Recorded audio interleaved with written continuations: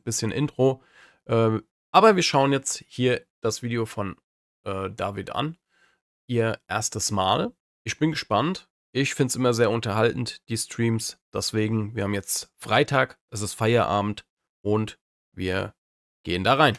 Heute werde ich ein Date bisschen in leiser. Thailand haben. Den Rollerfahrer ziehen wir eiskalt ab. Keine Chance gegen eine Ducati. Do you know anything about motorcycles? Nothing. This is an Italian monster. Wow, it's so big. Show me your skin. Oh my god. Boah, schöne Bräune. Freunde, riecht ihr das? Nugget Heute brown. liegt ein Date Finde ich sowieso, können wir direkt mal einen Cut machen. Finde ich sehr attraktiv generell bei Menschen. Egal ob jetzt Männlein oder Weiblein eine schö ein schöner Teng hat was Feines. Geht in der Luft. Ist was Feines. Ich glaube, da wartet sie schon auf mich. Hello? Hello. Savati Cup? Is that correct, Savati Cup? Yes, in for Thai, yes. Yeah? yeah? Yes, actually, yes. How are you? Sap by Mai. Sap by Mai? Yes. Correct Is this your first time dating a German? Ah yes and actually that's first time with big bike too First time with big bike. Yes I'm a professional, don't worry. I can handle this. Okay So, uh, yeah, I got a special helmet for you. Hopefully, it fits. Have you ever been to Germany? I never Voll been there but actually I also want to visit like Germany Switzerland France but I was only like in US Oh, in the US. Schon Do you know anything about mo Äh, dafür, dass ich jetzt 36 bin, bin ich noch nicht so viel rumgekommen. Ich war zwar öfter mal an einem Ort, an einem und demselben, das war öfter der Fall, aber äh, noch nicht an so vielen verschiedenen Orten. Und ich hoffe einfach mit irgendwann YouTube, Instagram, n- Twitch-Lifestyle mehr reisen zu können. Wäre ein Träumchen. Ich habe nämlich Bock auf Content, äh, Content zu erstellen, äh, zu produzieren und das eventuell auch mit einer Reise. Motorcycles? Aber damit ich davon leben kann, müssen wir erstmal ein paar Jahre hasseln. Nothing This is an Italian monster. Monster. You know, Italia? Ah yeah I know Mm-hmm, mm-hmm. It's red. Oh You know, racing. You want a little sound check? Warum spricht er eigentlich gerade so abgehackt? Weil sie spricht ja eigentlich gut Englisch, oder? Habe ich das Gefühl. Also ich bin jetzt nicht der Englisch-Spezialist. Sie hat so einen Akzent halt, ne? Aber sie spricht ja sehr. Äh, ich finde da jetzt kein Wort für. Ich wollte wortvoll sagen, aber das ist ja völlig Banane. Hat ja gar keinen Zusammenhang. Mm, Sie hat viele Wörter im Repertoire. Irgendwie so, ich, ich Hirn, Feierabend, Wochenende. Äh, da ist jetzt nichts mehr los. Sorry, ich glaube, ihr wisst, was ich meine. Wenn nicht, auch egal. Manchmal einfach nicht zuhören. Can I You need to go here and then Oh, I start it up. Are you ready? Okay Boah, die haben in Thailand anscheinend, geil, geil gestoppt. Die haben in Thailand anscheinend auch keine Vorgaben, was, was äh, Katalysator, Auspuff und sowas angeht, anscheinend, ne? Also komische Betonung gerade, aber äh, fällt mir gerade mal so auf, weil letztes Mal waren die Auspuffanlagen von denen ja auch offen. What do you say? It's good? Yeah 100% yes Aber jetzt mal ehrlich, stehen Frauen auf sowas? Auf Sound und sowas? Laut, Sound, kerniger Klang? Ist eine Frau am Start? Irgendwie? Ihr könnt es ja mal in die Kommentare schreiben, falls ihr ein, eine Dame seid, die de, mein Video anschaut, äh, sich meine Reaction anguckt. Würde mich echt mal interessieren, ob ihr das eher bedrohlich findet oder affig vielleicht auch, weiß ich ja nicht. Oder ob ihr sagt, äh, finde ich mega geil. Äh, ich stehe auf geile Sounds von Autos generell und Motorrädern. Würde mich mal interessieren, deswegen schreibt es einfach mal in die Kommentare. Okay, so let's go for Ich persönlich finde es richtig geil. all right. Sunglasses on. Perfect. All right, you can jump on. Oh no! yeah, my skirt is perfect. I told you like it's maybe not the best idea to wear a skirt on the motorcycle, but you were like, okay, fuck it, I wear a skirt. Yeah, for sure. So you can Okay. you can hold like this. Okay.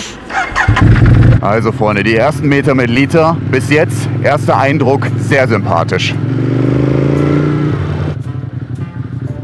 Let's get some drinks. Okay. Ich sag euch, der Store hier Und ist was bei 7-Eleven. ihr? Ich liebe das. Tatsächlich der Vorteil ist, und nein, das ist no sexual oder sonst irgendwas, sie ist wirklich klein und leicht. Ähm, das ist äh, wirklich ein Vorteil, weil ich persönlich bin damals sehr ungerne mit einem Sozius hinten drauf gefahren. Es sei denn, ich habe, das ist jetzt wirklich nicht irgendwie sexistisch oder so soll das sein, aber leichte Frauen damit das war das Angenehmste. Es ist halt so. Ich glaube, es leuchtet auch ein und ist logisch. Heute muss man ja aufpassen, was man sagt. Ne? Man ist ja direkt ein ekelhafter und so. Aber ähm, man sieht ja, sie ist ja nicht gerade die größte und dementsprechend würde ich auch äh, jetzt mal fresh behaupten, ist auch ihr Gewicht äh, niedrig und das merkt man halt auf dem Motorrad sehr extrem. Und was auch ganz wichtig ist, falls ihr mal Sozius mitfahrt, wehrt euch nicht davor, mit in die Kurve zu gehen. Weil es gibt nichts Schlimmeres als äh, Motorradfahrer.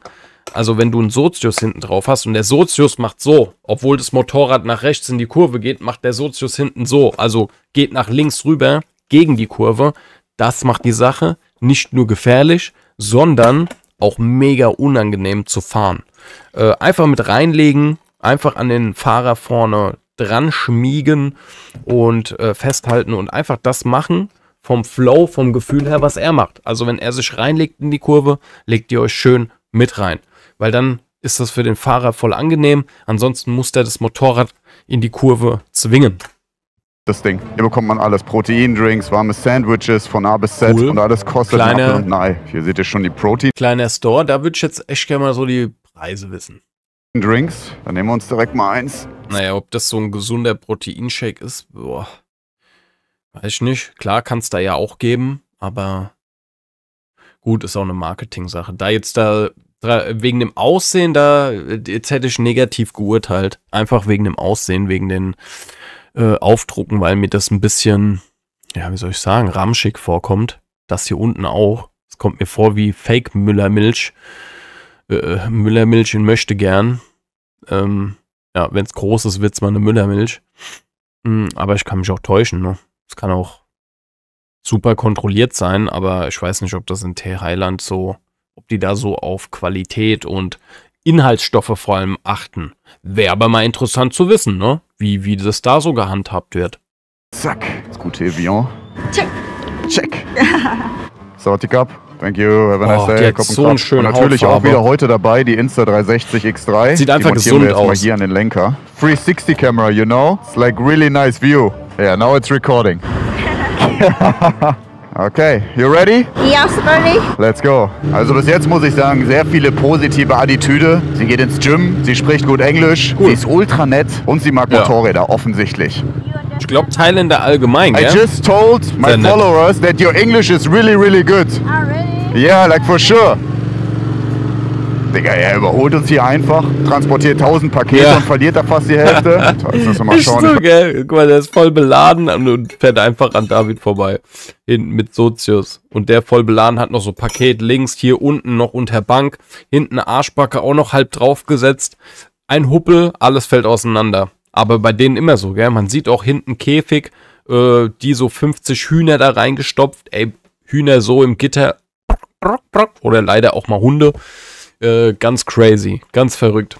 Äh, in Deutschland würdest du sofort rausgezogen werden, sofort äh, Fahrzeugpapiere, Führerschein, ja, so dürfen sie nicht fahren, Ladungssicherung, was auch nachvollziehbar ist, aber irgendwie, was ich komisch finde, da funktioniert es irgendwie trotzdem, ne?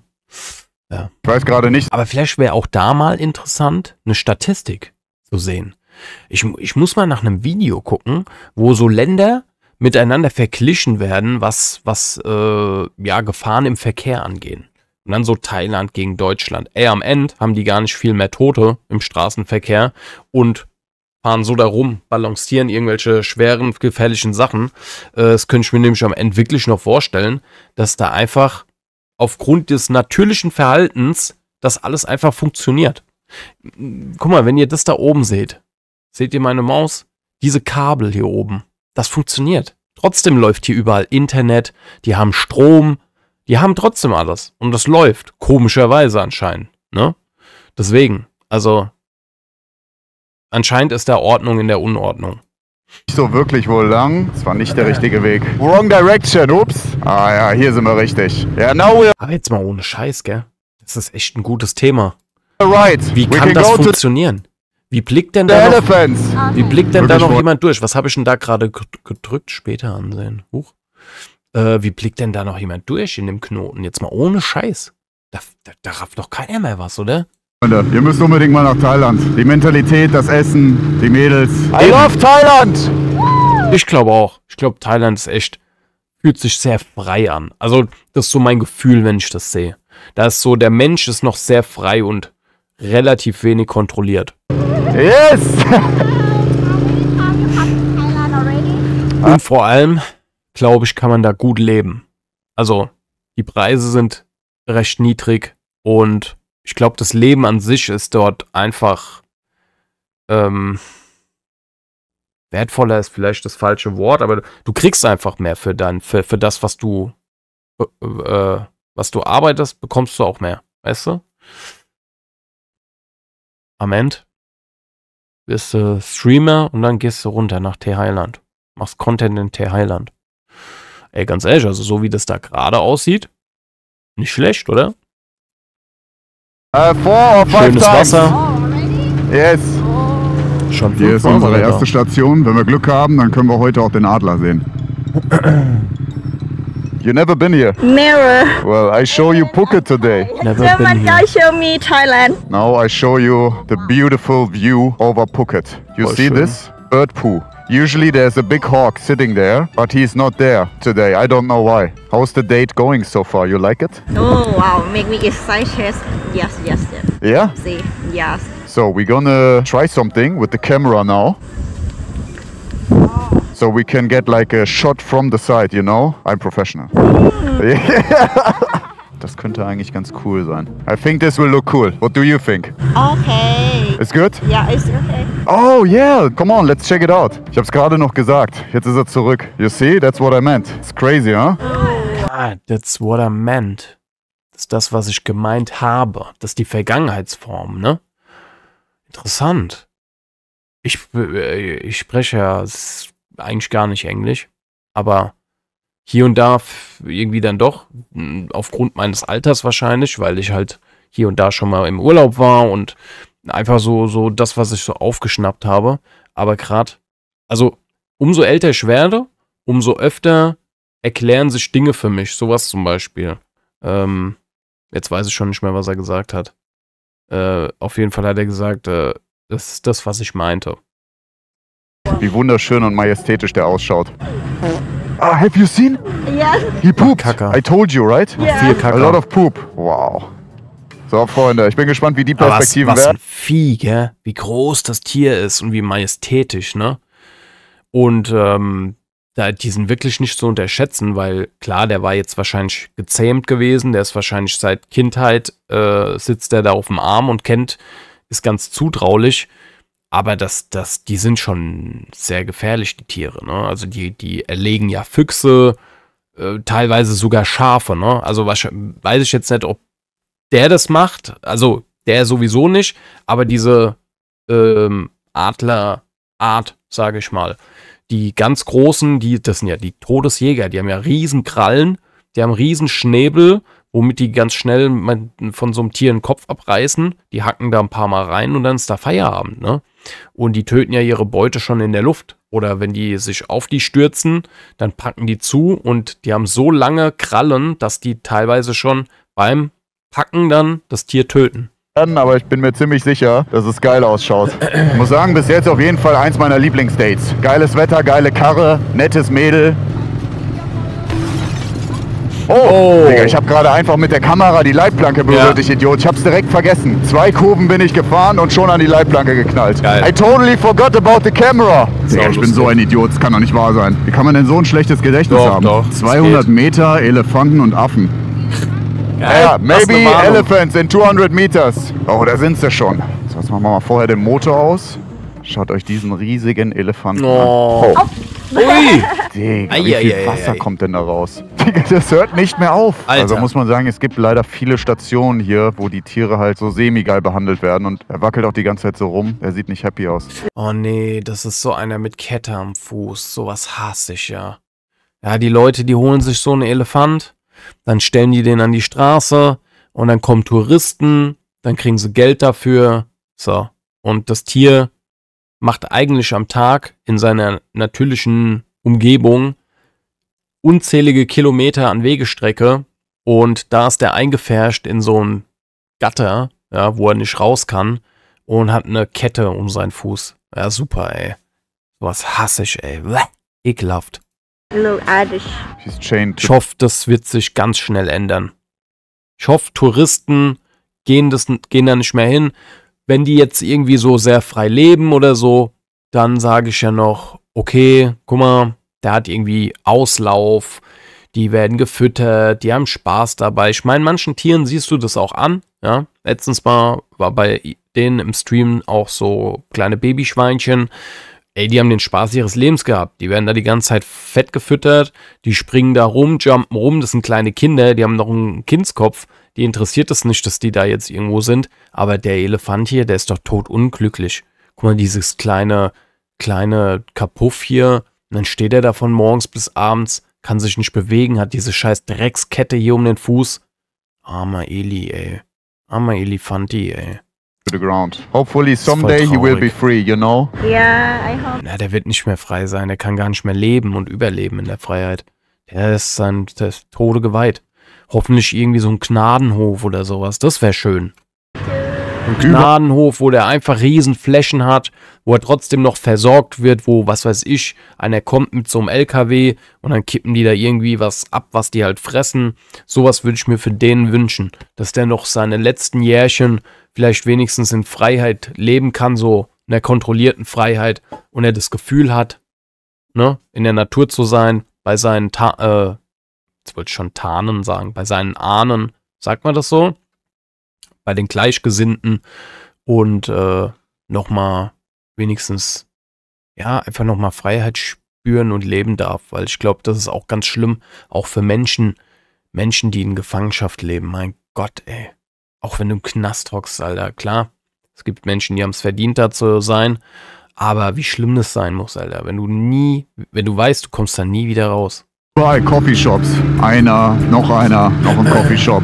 Noch ein Coffeeshop, noch ein Coffeeshop. Digga, das Alter. ist crazy, Alter. Noch ein Coffeeshop. Wie viel Gras willst du hier kaufen? Das Ja. gibt's gar nicht. Da kann man ja ein Trinkspiel draus machen, so viele Coffeeshops wie hier nebeneinander sind. Du hast keine Ahnung, Wolle. Ja. Digga, hat sie mich gerade angefeuert, Gas zu geben. Ja. Kleines Mädel. So, jetzt sind wir hier irgendwo am Strand. süß, ich weiß gerade nicht so richtig, wo wir langfahren. Aber vielleicht gibt's hier einen niceen Aussichtsspot. Do you want to check out the ocean? Gefällt mir gerade richtig Ja. gut, muss ich sagen, da. I can track you. You know, there's like a future. Oh, really? Ja, okay. Wir werden sie jetzt mal tracken. Jawohl. Die Werbung lassen wir laufen, weil ich finde, äh, Insta360 ist echt äh, für alle jetzt auch, auch wenn ihr die Reaction guckt und eigentlich Motor-Content sehen könnt, aber ich denke mal, ihr filmt auch. Und ich habe auch eine GoPro zum Beispiel. Ja, ich weiß, wir reden hier von der Insta360, aber ich bin ja nicht gebunden an Insta. Ich habe auch eine Insta Go hier oben liegen. Leider hat die nach zwei Wochen einen Defekt gehabt und ich Arschloch habe mich nicht drum gekümmert. Jetzt habe ich hier oben eine neue kaputte Kamera liegen. Herzlichen Glückwunsch, äh, Robin. Hast du super gemacht. Auf jeden Fall, ich habe so ein Teil. Geile Kameras und mit dem Verfolgungsmodus auch super. So einfach könnt ihr mit der Insta360 Studio App Objekte tracken. Richtig geiles Feature. Das sieht hier wirklich aus wie in einem James Bond Film. Geil. Geile Inseln, Boote. Es war vollkommen weird, dass wir hier beide mit Helm rumlaufen, aber das geht schon. Holy shit, zieht euch diese Wellen rein. Schönes Wasser. Looks nice. Ich würde aber auch gerne mal wissen, ähm, wie in Thailand gerade in den äh, Gegenden wieder mit dem, mit dem Müll umgegangen wird, wie da mit, mit, mit, wie die ähm, Strom produzieren, haben die Atomkraftwerke. We wisst ihr, was ich meine? Wie gehen die mit der Nachbehandlung von den Materialien um? Äh, äh, haben die Klärwerke? Was haben die da für Standards? Sowas würde mich auch gerne mal, also würde ich auch gerne mal wissen. Vielleicht lohnt es sich da auch mal eine Doku drüber reinzuziehen, oder? Nicht immer nur die Sonnenseiten dieser Inseln, oder ich weiß ja nicht, ist, nee, Thailand ist keine Insel, oder? Äh, gut äh, aufgepasst in Erdkunde mal wieder. Ähm, ja, ich denke mal, ihr wisst, was ich meine. Einfach mal schauen, wie dort ähm, ja, mit den Überresten der Menschen so umgegangen wird. Sei es AA, Müll oder was gibt's noch? Was produzieren wir noch? Abwasser? Ja, genau. Ja, AA. AA ist ja Abwasser. Hm. Wow, it's so big. Yeah, right? You want to turn it on?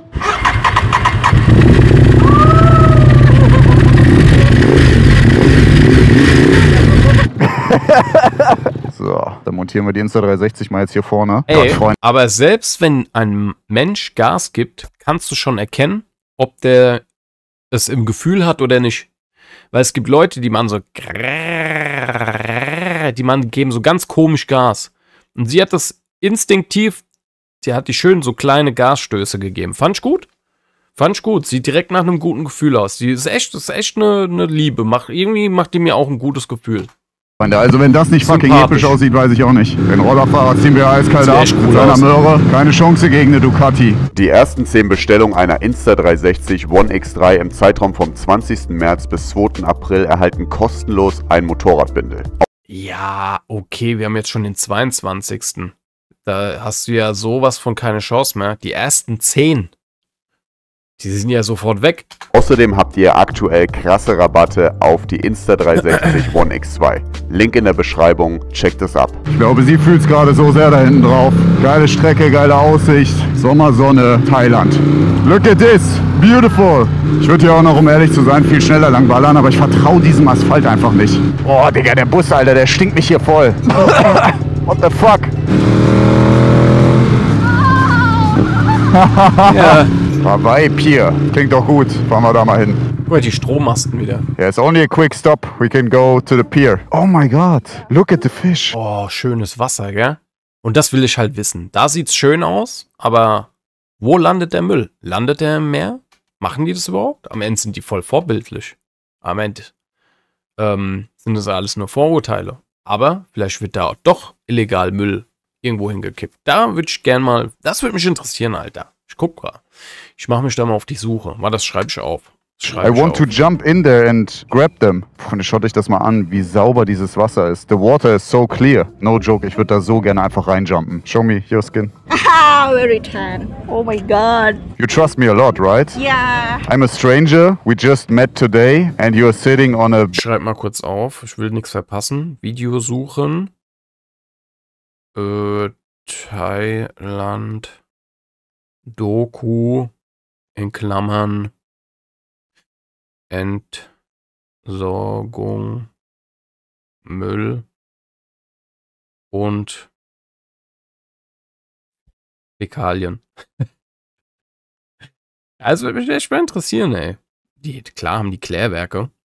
Aber wie sind die, in was für einem Zustand sind die? Ähm, wie gehen die mit der Filterung vor? Ich weiß zum Beispiel, ähm, unser Unternehmen besitzt oder betreibt ein riesengroßes Klärwerk. Und ähm, ich weiß zum Beispiel, dass das Wasser, was aus dem Rhein entnommen wird, sauberer wieder in den Rhein hineinfließt. Gefiltert und ähm, sogar noch verbessert, also angereichert. Ne? Deswegen ähm, würde mich mal interessieren, wie das in Thailand ist. Big bike and I'm riding, you know, so you have a lot of trust in me actually. I appreciate that. Wir haben die Insta360 jetzt nochmal hier hinten dran gemacht ans Heck. Das wird eine wundervolle Perspektive. Ich hoffe, man riecht mein Arschwasser nicht, wenn ich mich da hinsetze, weil das ist ganz schön extrem. Jump Alter, on, beautiful. der hat extra eine schwarze Hose angezogen. Ja, das ist halt der Nachteil, ne? Also, so schön wie das Wetter auch ist und sein mag, ähm, es ist halt eine Bullenhitze dort, ne? Also, wenn die so krass Arschwasser haben, dann weißt du ja genau, dass wenn die selbst beim Motorradfahren so einen nassen Arsch haben, dass da auch während der Fahrt richtig ekelhaft heiß und feucht ist. You ready? Yeah. Let's go. Hört schon gut an. Yes! Woo! You're good? Gott, zieht euch das rein. Es sieht einfach unreal aus hier. Ich sag euch, das ist die beste schön. Taktik, wenn ihr ein Date habt. Motorrad, Kurven, geiler Sound. You know, everything comes out of the hips, you know? When you move the motorcycle, it's always the hip. Ja. Like this. Ist wie ein Pferd See? reiten. Ja, ich bin schon mal ein Pferd geritten. Ja, das war sehr lange we her, aber. sexy and cool. There we are. She's Back in the cool. hood.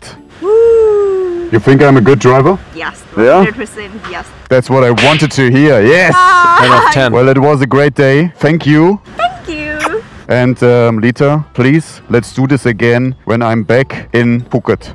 Okay. Deal. Deal.